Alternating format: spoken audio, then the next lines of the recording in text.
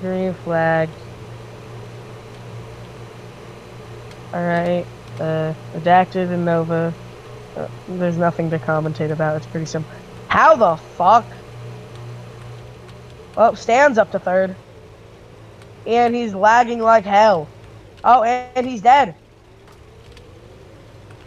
And Rozzy kills Galaxy.